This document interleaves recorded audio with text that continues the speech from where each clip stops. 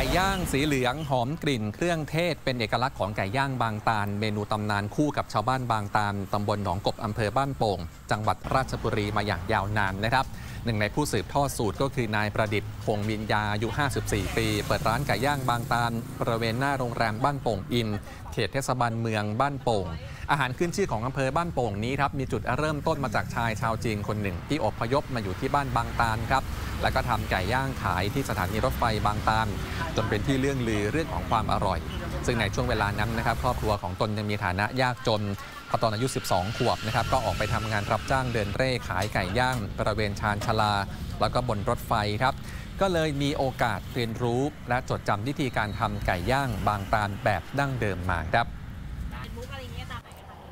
อยู่ตรงช่วงเนื้อหนังนะครับ แล้วเราต้องหมักเครื่องให้ถึง แล้วก็คือว่า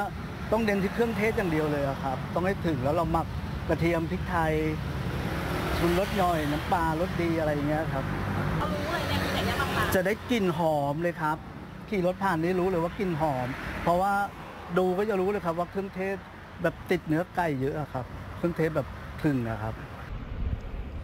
ราคาขายครับแบ่งเป็นไก่ย่างขนาดครึ่งตัวไม้ละ 90 บาท เนื้อน่องราคา 50 บาท เนื้ออกแล้วก็ปีกราคา 40 บาทนะครับ ส่วนเครื่องในคอเนื้อหนังแล้วก็ขาราคา 20 บาทครับ